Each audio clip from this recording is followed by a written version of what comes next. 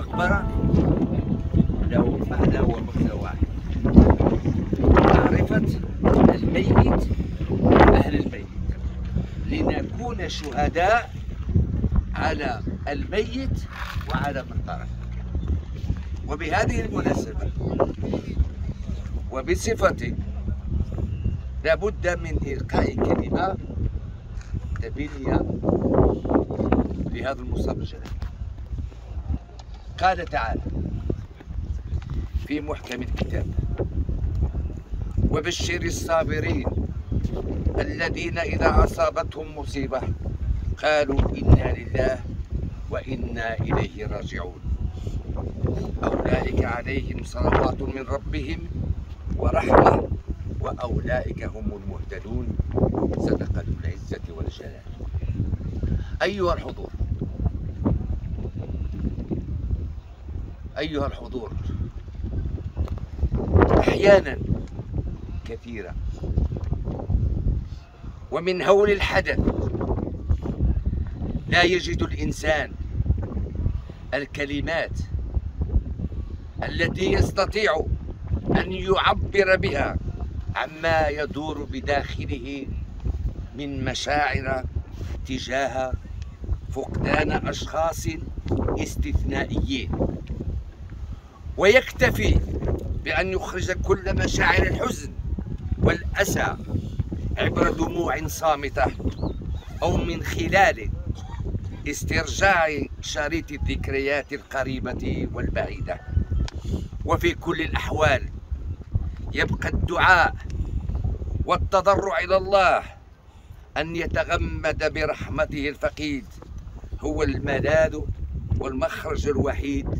من حالة الحزن والأسى. أيها السادة الحضور ما أصعب؟ ما أصعب أن يغادرنا زميل دون عودة؟ إننا نودع اليوم رجلا من رجالاتنا الأبرار. فمن هذا الشخص الذي حضر هذا الجمع الكريم لوداعه والتعزية به. إن هذا الرجل الذي أتاه هذا الجمع من كل صدب وحدب ليشهد ليشهد على رحيله اليوم هو النقيب. هو النقيب محمد عمر الريفي. فمن هو هذا الشخص؟ من هو هذا الشخص؟ يعتبر الراحل من القامات القانونية. التي طبعت مسار العدالة بالشمال حيث كانت ولادته بقرية تبسينت جماعة برابطن إقليم الحسيمة سنة 1928 وكانت بداية دراسة تعلمه بمدرسة أجدير التي تبعد عن دار والديه بحوالي 20 كيلومتر. كان يقطعها يوميا بأرجله. كان يقطعها يوميا بأرجله ذهابا وإيابا.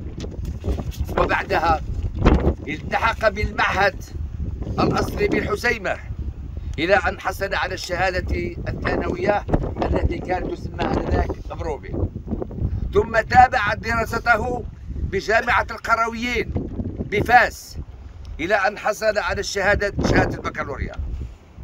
ولمتابعة دراسته القانونية توجه إلى سوريا.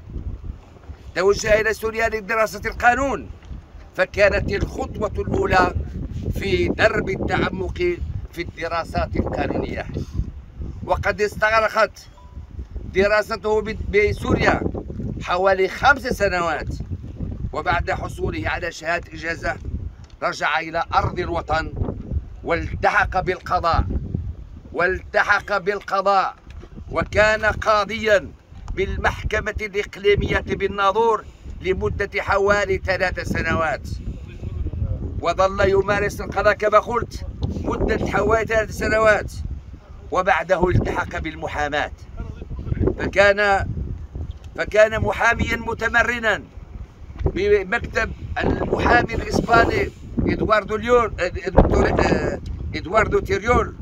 ثم مارس المحاماة منفردا ثم على وجه المشاركة مع الفقيد المرحوم عبد الرحمن أبو خالد ثم بالشراكة مع الأستاذ عبد الله أبريغش وكان له شرف وكان له شرف أن تمرن على يديه وبمكتبه أساتذة ما زالوا أحياء بعضهم وفتوا المنية وأقول بالتخصيص الأستاذ طاهر القضوي النقيب عمر شلح النقيب حسين بن الفقيد مصطفى الباروزي عبد الله الأستاذ عبد الله بريغش وعمر أزهر. ويعتبر الراحل واحد من القامات القانونية التي طبعت مسار العدالة بالشمال مارس المحاماة. لمدة حوالي 55 سنة.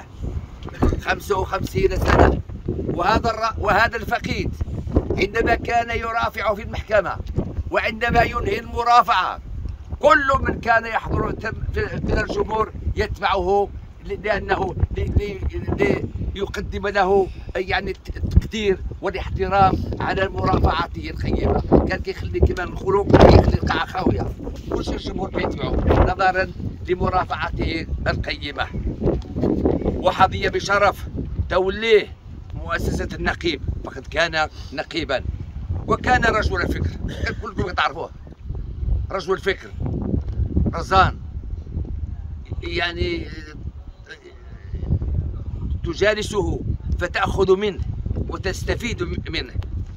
باختفاء هذه الشخصية الهامة تكون هيئة المحامين بالناظور. الحسيمة. وجمعية هيئات المحامين بالمغرب. لأنه هو عضو في هذه الجمعية ديال المحامين بالمغرب. قد فقدت واحدا من ألمع وأفضل الأساتذة المتشبعين بالقيم الإنسانية النبيلة وبأعراف المهنة وأخلاقياتها. أيها الحضور فاشعتنا كبيرة ولا نملك سوى الدعاء للفقيد بالرحمة والمغفرة. وبالرحمة أيضا لكل من سبقه إلى الدار الآخرة وتعازينا الحارة القلبية إلى كل أفراد عائلته أربرته وأولاده الدكاترة سيد محمد سيد عبد الناصر سيدة أسماء والسيدة وفاء. قال تعالى يا أيتها النفس المطمئنة ارجعي إلى ربك راضية مرضية فادخلي في عبادي وادخلي جنتي. رحمك الله. رحمك الله يا نقيبنا الفاضل. إنا لله وإنا إليه راجعون. والسلام عليكم ورحمة الله تعالى وبركاته.